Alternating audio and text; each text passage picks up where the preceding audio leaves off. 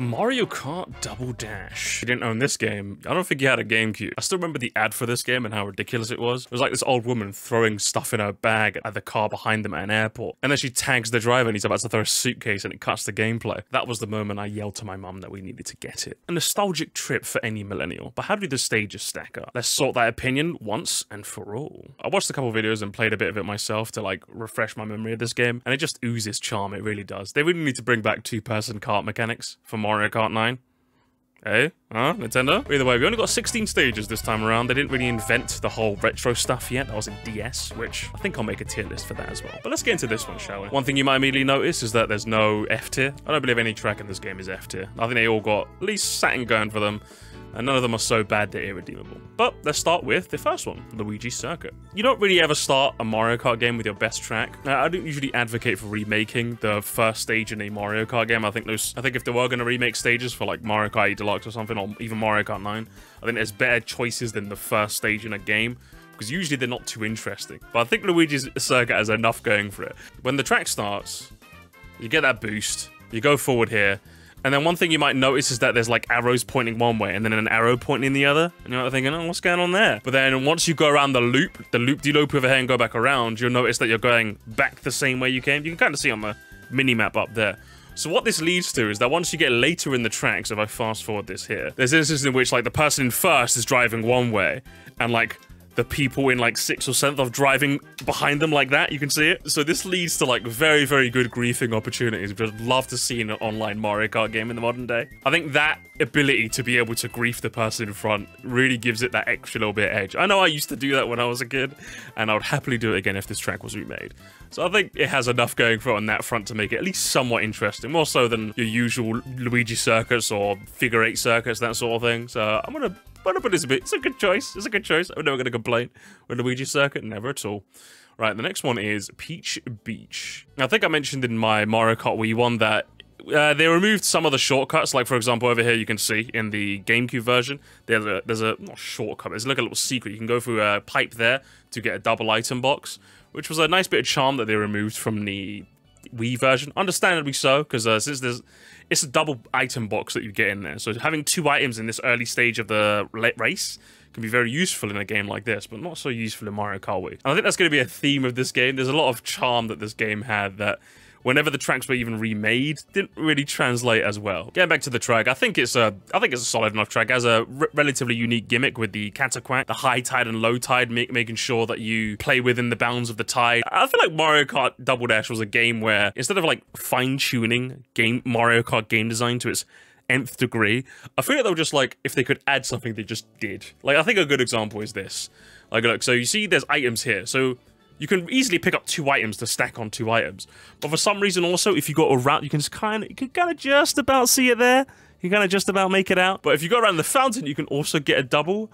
I don't know why you would do that, but it's kind of nice that it's there, you know? What I used to do when I was a kid was whenever the race would start, I would immediately turn around, go around for that double and then play the game again just to kind of flex on my younger siblings. You know, I think this get this track has enough going for it. I'm gonna put it in B as well. I still like Luigi's Mansion. Uh, Luigi's Mansion wrong game. I still like Luigi's Circuit a bit better, so I'm going to put it slightly higher, but I do like Peach Beach quite a lot. Next one is Baby Park, and uh, uh, this track is an absolute Marmite track, as in you either love it or you hate it. There's only one correct opinion here on the Sir Musty channel. It's a Nintendo Masterclass. Anyone with a different opinion, you're just wrong. This is a hill I'll die on. You know, I understand with my Wario's Gold Mine opinion. Is there anyone that actually likes this track? Don't ever come to my Mario Kart ever again, okay? it's an unpopular hill, but I'm willing to die on it regardless. This is, uh, I'm not even willing to concede that this is an unpopular opinion. If you hate Baby Park, you hate babies and parks, and you need to touch grass and get pregnant. this game has uh, special items. Each uh, character has a special item they can get, and of course, Bowser and Bowser Jr.'s one is the is the infamous Bowser shell. It's a shell that's so large it transcends the green barrier, the like the grassy barrier on the side. So you get, if you fling a Bowser shell into the into the fray, all bets are off. It doesn't matter whether you're first, eighth. The Bowser shell consumes all. It is a fantastic way to play the game. And if I ever was playing Baby Park, I'd always make sure to pick Bowser Jr. I don't know how you can hate Baby Park. I don't, I don't know how you can do it. I don't know. I don't know how. So someone, someone tell me. How, why do you hate this track? I really want to know. As far as I'm concerned, it's a Nintendo Masterclass. It's absolute pure chaos distilled down to seven laps on an oval. I love it. Uh, what is next? Dry, dry desert. it's a desert track. What can I say? They're usually bland to look at since it's all just orange, orange, and more orange. And as much as I love uh, Mario Kart Double Dash, I, am not really going to defend Dry, dry desert. It's pretty boring. One thing I do like about this over its uh, Mario Kart 8 Deluxe counterpart is the tornado. You, if you've only played Mario Kart Deluxe, you might not recognize the tornado that uh, wisps through the track. You can see it here. If you get hit on it, it just wisps you up and throws you back down. It's a really horrible slowdown.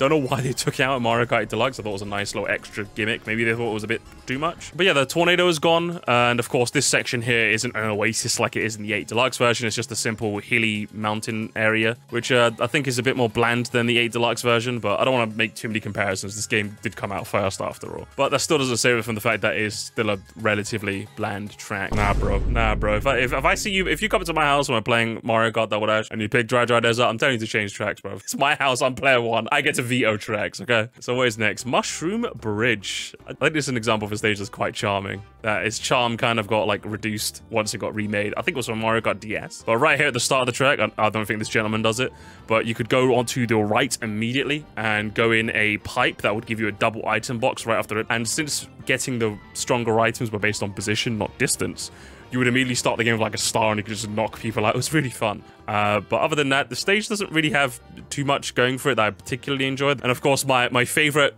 quote unquote shortcut probably in the entire series. It was so it was such a non-shortcut that they removed it when they remade this for Mario Kart DS. So you might not recognize this if you haven't played this version specifically. But you might notice there's speed pads on the sides of these. Um, now, this shortcut was very, very hard to do unless you deliberately slowed down and lined yourself up to get it. Because if your car is slightly off, you tumble away. So it was not worth it at all, which is uh, one of the few times where they've removed the shortcut in a Mario Kart, future Mario Kart game, where I'm just like, you know what, I think that's fair. I think it's fair removing this one. I, I like it. It's all right. It's a, it's a, no, actually not C tier. I think C tier is fair. It doesn't really have too much going for it, so I can't really rate it too highly. I'm not gonna, I'm not gonna complain too much if you pick it. Uh, next is Mario Circuits. I do quite like Mario Circuit. Usually, shortcuts don't really factor into my enjoyment of a track or not. I usually like the stage design, the music, the fact that you can like skip like a good chunk of the track. I think it's two mushrooms you need at least to skip through this entire grassy patch. It can be a really big lifesaver. So once you get past the chain jump, there's not really much going for this track here. You kind of go in a tunnel. Uh, crazy. nice. CPU hit itself. There's not really much going for it until you reach the end where there's like bumpy hills and goombas. But maybe, it's maybe it's a little nostalgic bias talking, but uh, I think it just about creeps into B. Just about. While it doesn't do anything special, it's uh, it's special to my heart. Daisy Cruiser next. Not one of the most memorable tracks, if you ask me personally. I think it's got a decent bit of it going for it. I think this water section here, I think one thing that's going to annoy me, it's not the track's fault, I think one thing that's going to annoy me if this track eventually gets remade is the fact that this water bit is going to be non-hazardous. I kind of like the fact that like you have to start the uh, race by drifting around this. You can actually drift um, drift here and then go around the pool on this side. It, again, it's not really worth it, so you, I don't know why you would. And I think the uh, dining table area, if, if, that's what you want to call it, I think is quite nice. Since the ship is constantly rocking, uh, these little tables kind of shift around everywhere and the items kind of shift with it. I think it's a nice little hazard that you kind of have to be a bit dynamic about avoiding. And I think there's this underground bit here. This person doesn't go down it. But uh, this is underground bit there, which is a bit slower since you have to drop to the ground before you can drive, but you get double. I think this game had a theme of uh, if you're willing to take the slower path for a double item, since getting two items is, you know, twice as good as getting one. Maths, I know. I, I feel the same way about this as I did about Daisy uh, Circuit in Mario Kart Wii. If I was listing off all the tracks in Mario Kart Double Dash, I feel like this would be the one I'd forget because it didn't really leave too much of an impression on me. Should that be enough to factor into its placing? Uh, probably, I would say so. I think it's better than Mushroom Bridge, but I don't really remember it too much. And if you picked that, I'd be like, oh, sure. There's better tracks as far as I'm concerned, but it's not horrible. I don't know what it is about Daisy tracks that are forgettable. Is there a theme? Maybe it's my Daisy bias. But either way, next track is Waluigi State. I love this track as a kid. This is like my favorite track to play as a kid. The music's a bop. The, I just, I just like the idea of like driving in a car in like a stadium like this. This was quite. I just, I just like, I really like the aesthetic and like being able to like boost up and grab an item and then get it. And then you can skip past here as a nice little shortcut as well. And of course, uh, you know, as a kid, I'd always be extra fancy. Instead of like going, in, you have to like slalom in between all the piranha plant pipes. But sometimes I was feeling fancy, you could like go up and around like that. But that's if you were feeling fancy. That's if you were an S tier driver like me as a kid. And like, I remember looking at the comments in my Mario Kart Wii tier list one. And uh, a lot of people don't rate this track too highly, which is a shame because I really like it. It's got a little something for everyone, you know? Might be a controversial choice. But I'm sticking with it. It's A tier. I like the fact that I can usually come up with some, you know, at least analytical reasons as to why I like a track. With Waluigi Stadium, it's just, I like it, okay? Sherbet Land, the, the mandatory ice track in every Mario Kart game that they insist on using as a gimmick because we all love ice tracks, don't we? I love ice track. Love them so much. If, if I'm going to try and compliment it as best I can, is the fact that if you hit these uh, icicles, uh, it kind of freezes you and stops your momentum while making you drop your items, which I think is a nice way of punishing. I think in Mario Kart 8, you just spin out like normal, which I think was a nice touch. I'm kind of reaching, aren't I? You can tell. You have to be something special to get by as an ice or desert track. So let's just move on, shall we, to a better track, Mushroom City. I really like this track. I like this track a lot. But as far as I'm concerned, this track has never been remade in any Mario Kart I've played. And it's an absolute shame. I don't know why. It's such a good track. I think this track perfectly encapsulates what a city is trying to be in that you can always take more than one path to get to your destination. And if you're a city slicker like most people are, you can take a cheeky shortcut on that pink path to the side there. And of course, uh, in, a in an age where I grew up without the internet being absolutely rampant, it definitely wasn't me who was told by a friend in class that even though there's a big do not enter sign in this little area, which just leads to nothing but a death zone, I definitely wasn't told that there's actually a secret shortcut there with a cannon that takes you immediately to the next lap. I definitely wasn't told that. I definitely didn't fall for it. Same way I didn't fall for Sonic and Melee. Definitely not. Definitely not. That's just a. That's just a I really like this track. It's it's got it's got a lot going for it. I would have put even higher than Waluigi Stadium. Honestly, I put the top, the top of A tier, and it needs to be remade for Mario Kart. I don't want it in the deluxe packs because they're not going to do the stage justice. All right, I want it in Mario Kart 9. I want it to be the starring act in its own Mario Kart game. It deserves that. Uh, next, we've got a Yoshi Circuit. I think this has been like remade like what three times. It's it's it's all right. It's it's solid. I don't think it's particularly bad. I don't think it does anything particularly well. Uh, although I do have to give points to specifically the GameCube version, as there's a nice little shortcut. There's a little bump in the road right there. If you were to jump over there with a mushroom, you'd get enough speed to go inside a secret underground tunnel. I would forgive you for not noticing this, because in both the DS and Mario Kart 8 Deluxe versions, they removed it. It was nice to have a little shortcut there.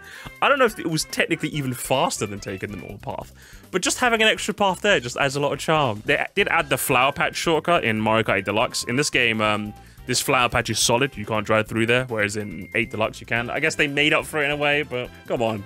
Using a mushroom to drive in a secret underground tunnel, or using the mus mushroom to drive through some flower patches. And of course, shout out to uh, Yoshicopter. We love Yoshicopter in this house. We stand Yoshicopter. Good track. I like it. It's solid. I'm gonna put it in. I'm gonna put it in. I think B tier is fine. I think mid B tier is fine. I think that's a good spot for it. DK Mountain. DK. Donkey Kong. Nice cannon to start you off to take you to the mountain proper, the very angry mountain. Although if I was hot in the head all the time, I'd be pretty angry as well. Even though the cannon's a nice little uh, gimmick, I did like I do like the animations of seeing the character in the back barely hanging on for dear life. This rocky section is when it gets, gets a lot more interesting. The size of the rock dictates how much you respect their boundaries, and I think there's a nice shortcut which this gentleman doesn't take here, but uh, right as right along this path here, you can immediately just jump to the right and take a nice little shortcut, and you get an item there as well, which is always nice. But of course, I think the most memorable part about this track is the Bridge of Death. Many a giant banana and Bowser shell were thrown back on this bridge. If you fell off this bridge, you'd get sent all the way back. It was harsh. It was unforgiving. It would ruin an entire race for you. Uh, I'm gonna slap it in A tier. Bottom A tier, but A tier nonetheless. Wario Colosseum. Another stage which I don't believe has ever been remade so long that it's only two laps. I kind of do want this track to be remade because I'd love to see what they would do with it in a modern Mario Kart. But like having played it and like watching it now, I, I do feel like it's a bit long for no reason. Like, I, I feel like when they were designing they were like, guys, do you think we, we made it too long? We have to go back? Nah, just make it two laps. You get the big speed boost, you go down the spiral section, and then there's just this bit here with just a, a bunch of turns, nothing really too interesting happening here. And then you get a drop, and then you get into the final section, which probably has like a little something somewhat interesting where you either go around and take the safer route and grab an item, or you can take the middle path and speed up and then speed up again. Although in this game you do have to be dead on. You can't angle yourself in the air, so you have to be dead on when you're going for this part, which is a bit risky, and you don't and you risk not getting an item at all. So someone could punish you if they went round. Which uh, I think they needed more of that in this stage, you know, because there isn't really too much going for it other than that. I still want it to be remade though. I think that's my GameCube bias showing though. I'm not gonna say it's bad, but it's not the best. I want to put it here. I think before I replayed the stage, I would have been like, oh yes, they definitely need to bring this back for Mario Kart 9. Just purely off the virtue of the fact that it's never been remade before. But you know, if they skip this, I think I'd be okay. Dino, Dino, Jungle. Now, I do believe this track has already been remade once. I don't remember the game. And if I don't remember the game, that's usually a sign that it was in Mario Kart 7.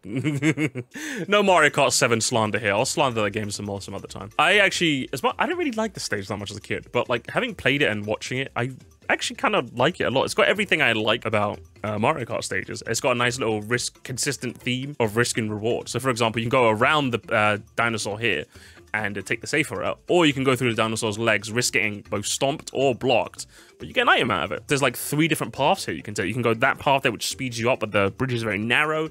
You can take this yellow bridge, which is like the basic one, uh, very quite wide, or you can go around and get a double item, which the slower path with extra items. I actually usually went for the orange bridge for the double items because there's another shortcut here, which is if you go to that bridge over there, it's unfinished, so you have to get a mushroom to boost right up there. It's quite nice. I like it. It's got it's got enough going for it, enough hazards, enough uh, enough U-turns. I do like a nice good uh, U-bend. Well, like I want to put it in A. I want to put it in A tier. I think it deserves it. Definitely the one that has jumped the highest in my opinion from as a kid to as an adult. The penultimate stage, Bowser's Castle. Now, I wasn't very kind to the Wii rendition of Bowser's Castle, but I do really like this one. Wario Colosseum's problem is that like there wasn't really too much interest for a special cup stage, which is like the final cup, you know, it's supposed to be the most interesting one. Wario Colosseum didn't really have anything interesting going for it except the fact that it was long and two laps. I feel like Bowser Castle was enough going for it consistently throughout the track where it makes it a really solid track to race on. Of course, you start with the thwomps, which unlike the Wii thwomps, I think they take up a substantial amount of the carpet, so you have to slow, like navigate around the sides. Much harder if you have a big cart as well.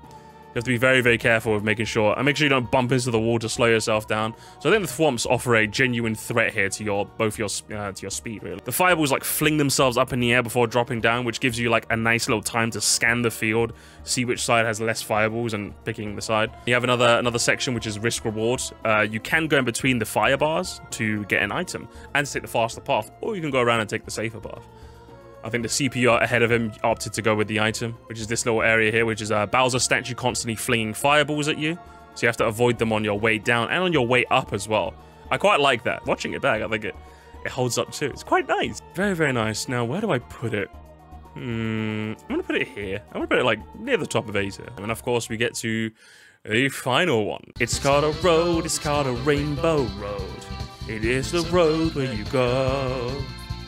It's the road where you go when you die. I think if they had that as the soundtrack for the stage, I don't think I'd hate it as much. I'm not really too big on this Rainbow Road. I think it, it could even be a candidate for the worst in the series because it's the final stage of the game. I want them to be the right amount of uh, difficulty, but not unforgiving. For example, Mario Kart 8's Rainbow Road is not hard enough. It's just, I think it's way too easy for a Rainbow Road.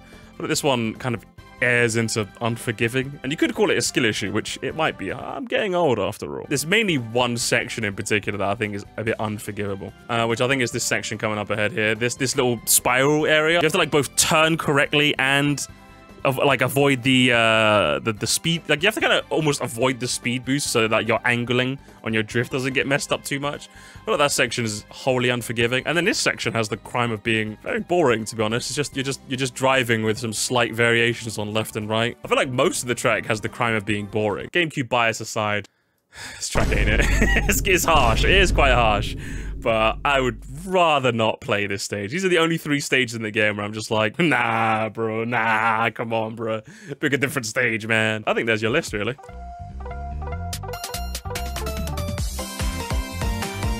Well, I'm not live streaming at this at the moment. Let's, let's look around and see some other tier lists. DK Mountain seems to be a consistent top tier. Sherbet Land? S? My dude, whose man's is this? What are you smoking and where can I get some? Uh, once again, DK Mountain is in S. This stage is consistently winning. Baby pot, baby pot. Mushrooms. Uh, we got ourselves a country boy there. Mario Kart Double Dash tier list. I played this game recently, so my opinion is the freshest and the best. But of course, it's always the best. Oh, yes. I like the boldness of his statement. Let's see if his opinion actually backs it. My opinion's only the correct opinion. Baby Park in its own bottom tier, bruh. Come on, bruh. And then he puts Rainbow Road.